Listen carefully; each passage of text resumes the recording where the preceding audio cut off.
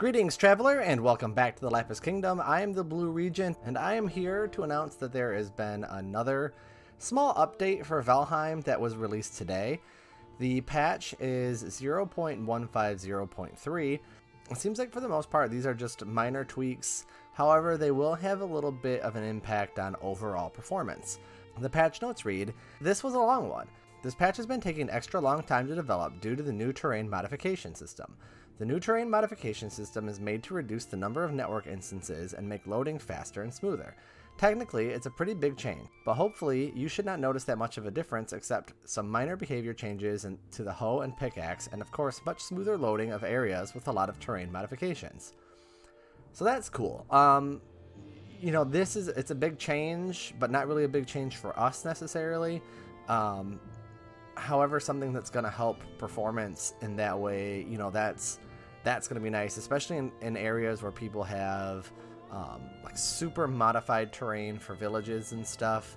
Um, you know, that's going to be helpful so that you're not getting bogged down the moment you start to load, you know, anything that you've been spending a lot of time working on. All terrain modifications after this patch, using the hoe, pickaxe, or cultivator, will automatically use the new modification system. For existing areas where heavy terrain modifications have been made before this patch, we have added a special console command, OpTerrain, that basically converts all the old terrain modifications in the nearby area to the new system. To use the OpTerrain console command, you first need to enable the in-game console by adding console as a launch argument for the game.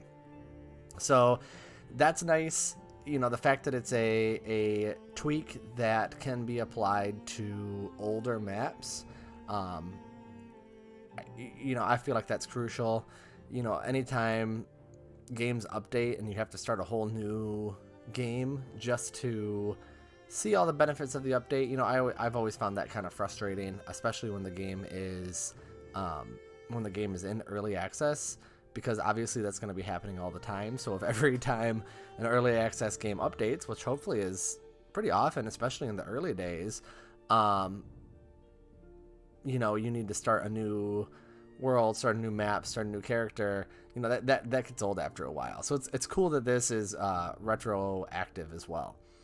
So the rest of the patch is Swamp Draugr spawner location fixed to prevent Draugrs from spawning inside stones which is cool. Um, it looks like they are going to be spawning basically on top of the spawner for the most part, um, which is interesting. Really, the most important thing is is that they aren't spawning inside of stones, which is what they were doing sometimes before.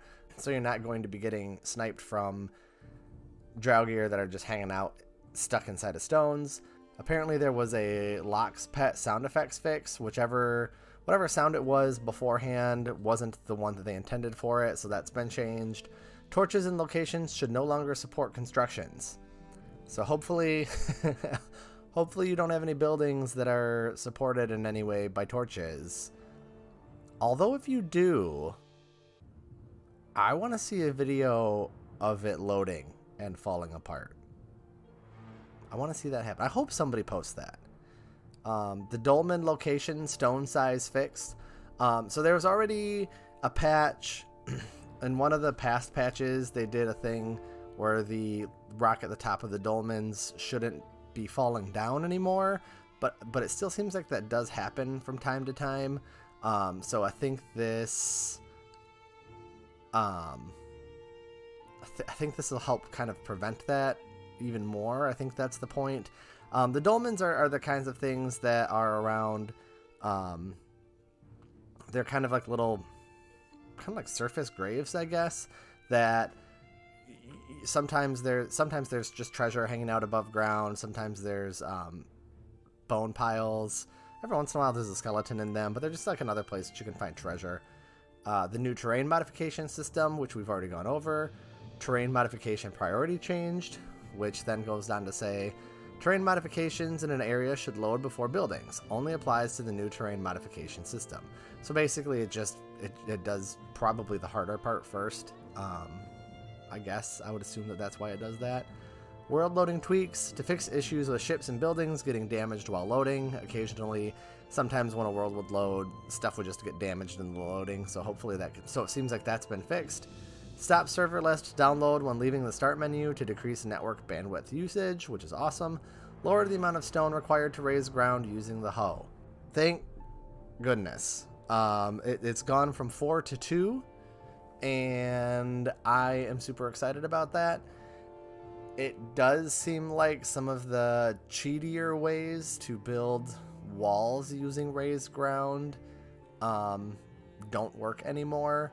You don't you don't get like the quote free walls by standing on a fully raised wall and and clicking on the edge to get it to just raise to the same level, which I'm fine with, to be honest with you. Um, because in the long run, you know, trying to adjust the terrain for like an individual house or whatever, it's it's such a it's such a headache to just, you know, have to get more stone if you messed up or whatever. So so the reduction of the um, the reduction of the stone requirement is is is big. That's it.